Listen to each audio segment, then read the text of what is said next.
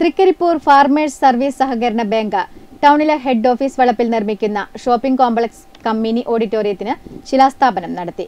സഹകാരിമാരും bank ഡയറക്ടർമാരും ജനപ്രതിനിധികളും അംഗങ്ങളും പങ്കെടുത്ത ചടങ്ങിൽ രാജ്മോഹൻ ഉണ്ണിത്താൻ എം പി ശിലാസ്ഥാപനം നിർവഹിച്ചു.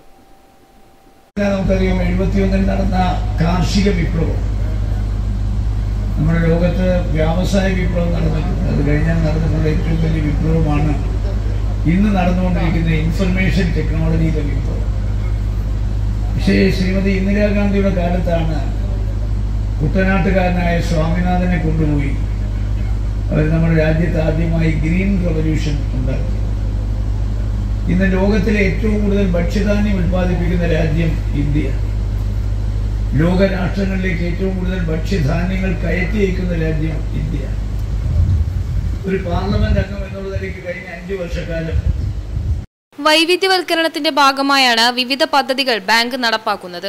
ഇരുന്നൂറ് പേർക്കിരിക്കാവുന്ന എയർ കണ്ടീഷൻ ഓഡിറ്റോറിയം അഞ്ച് കടമുറികൾ ബാങ്ക് ബോർഡ് മീറ്റിംഗ് ഹാൾ തുടങ്ങിയവയാണ് പുതിയ കോംപ്ലക്സിന്റെ ഭാഗമായി നിർമ്മിക്കുക. ബാങ്ക് പരിസരത്ത് നടന്ന ചടങ്ങിൽ farmers bank president V V Vijayan അധ്യക്ഷത വഹിച്ചു. ഗ്രാമപഞ്ചായത്ത് president V K Bava മുഖ്യാതിഥിയായിരുന്നു. Bank managing director K Sasi vice president L K Yusuf advocate K K Rajendran T V Balakrishnan O T Ahmed Haji M V Sukumaran K Manoharan T V Shibin E Narayanan E V Damodaran T Narayanan master T Ajitha എന്നിവർ സംസാരിച്ചു. News bureau Trikaripur.